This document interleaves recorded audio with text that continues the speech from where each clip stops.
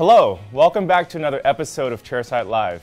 I'm Dr. Justin Chi, Clinical Research Associate and a member of the team of practicing dentists here at Glidewell Laboratories.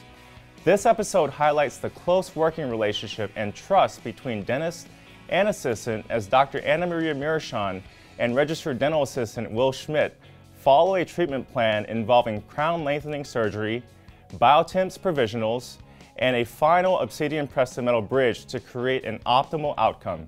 Let's take a look.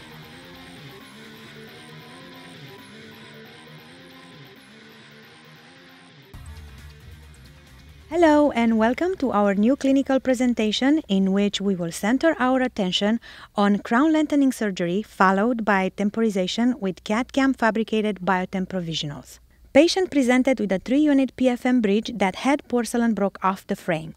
To replace the broken prosthesis and to restore proper function and aesthetics, I chose obsidian pressed metal. Noting the plunging opposing cusp, I could not initiate the procedure without re-evaluating the interocclusal space and address the lack of it, especially over the distal connector. To provide more interocclusal space, crown lengthening and selective occlusal adjustment of the opposing cusps was planned. Measurements were recorded and revealed deep periodontal pocket mesial to 31. The measurements were used to facilitate the accurate removal of the bone in order to provide clinical crown exposure and space for biological width. To cut through the metal and porcelain, I use a zircator burr. After removal, a significant amount of leakage and a subgingival caries was present on 31. Preps were cleaned of debris, then a periodontal probe was used to assess the height of the preparation walls and lack of retention form, especially on the mesial axial wall of number 31. To properly improve the retention and access the lingual gingival caries, I planned for crown lengthening on the molar only. With Picasso laser, I outlined the predetermined contour of the gingival tissue. In order to detach the gingiva from the tooth and bone, I made the incision using a 15 blade going circumferentially along the sulcus of number 31 and a release along the crest. Using a periosteal elevator, I reflected the flap to permit the visualization of the underlying bone tissue. I reduced the bone height circumferentially using a diamond round burr with copious irrigation. Then preparation finish line was placed apically to increase the axial wall height. Chromic gut 3.0 suture were used to close the flap and allow the gum to properly attach to the bone. The new bone topography will support and reposition the gum 2 mm incisal to the newly created bone margin, leaving more tooth structure above the gum. This will facilitate retention form and allows space for the technician to apically reposition the connector. After any flap surgery, I always like to apply an antioxidant periodontal gel over the surgical site. I will turn it over to Will, my RDA, as he will complete the temporization process over the surgical site. Well, thank you, Dr. Muresan. Now that our patient's surgical procedure has finished, the focus on the temporization of the site needs to first be carefully planned and then followed through. I need to realign a biotemp provisional that will not lock into the freshly placed sutures, but will also not contaminate the site or trap particulate. My go-to dressing to prevent acrylic integration into the sutures is a bed of Teflon tape strips. Make sure to run the strips through a sterilizer and have them handy for when a situation like this presents itself. Place the acrylic reline inside the biotemp and wick away any overflowing acrylic with motions that pull it out and away from the embrasure areas.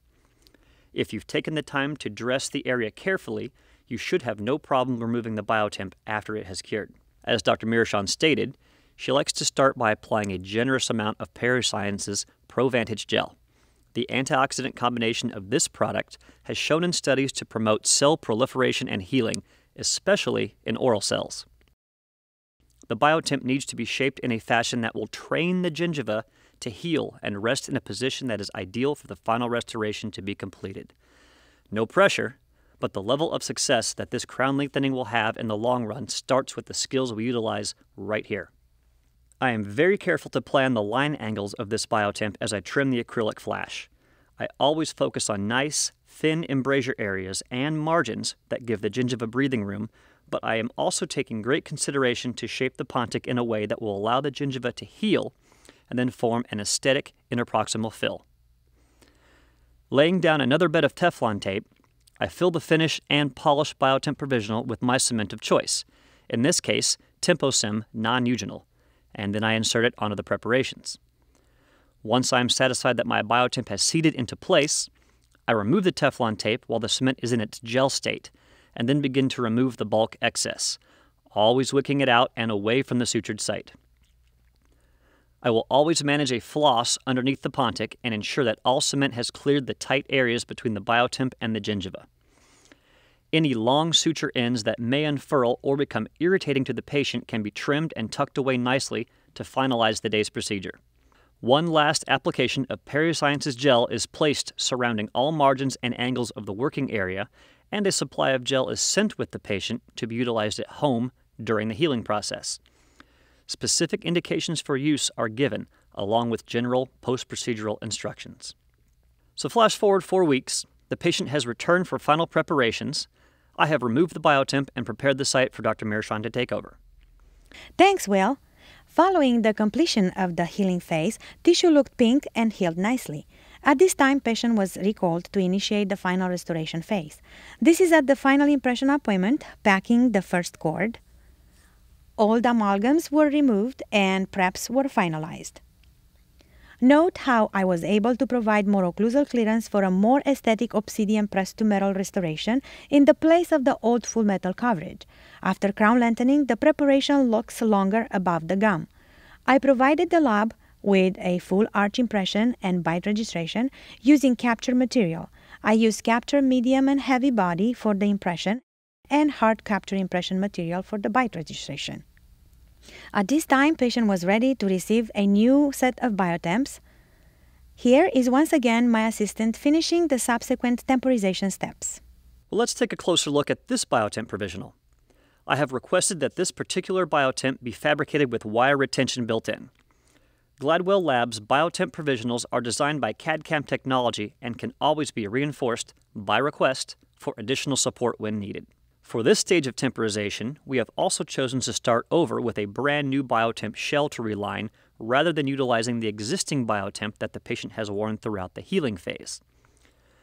Although the current biotemp could absolutely be retrofit to the refined preparations, our goal here is to continue to train the gingiva until the final restoration is seated.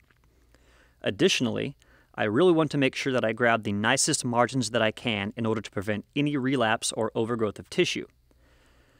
I never want the cost of a temporary to be the deciding factor in what is placed to wear at any stage of treatment, especially when focused on surgical healing. In situations where the best aesthetic result may call for multiple biotemp provisionals to be delivered, simply rolling the cost into the patient's overall treatment fee is the surefire way to avoid worrying about financial overhead instead of promoting the optimal treatment process possible for your patient's benefit. The isolation, temporary cement, and removal stages remain standard protocol while always making sure to pass a floss under the pontic area to ensure that no large remnants are allowed to stick. The occlusion is spot on, and the anatomy gives these biotemps a lifelike appearance. At your discretion, stain and glaze can be added chairside to enhance the aesthetics of a long term temporary. Flashing forward once more, the removal of the biotemp is a quick process due to the well prepared path of insertion. To aid in temporary cement removal, an ultrasonic scaler and a pumice polish should be administered. Dr. Muresan then treats the preparations with two consecutive one minute coats of G5 all purpose desensitizer prior to final cementation. She evaluates the margins and occlusion to determine that no additional adjustments are necessary. RelyX Luting Plus resin modified glass ionomer cement is used for seating. We tack cure the cement slightly to enhance polymerization and then remove any excess to finish. Dr. Muresan, is there anything you would like to add in conclusion?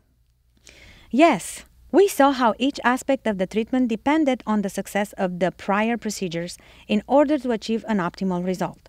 With this case, I attempted to highlight the approach of using biotemp over a surgical site for a successful restoration treatment. In this case, we saw a patient coming in with a compromised situation.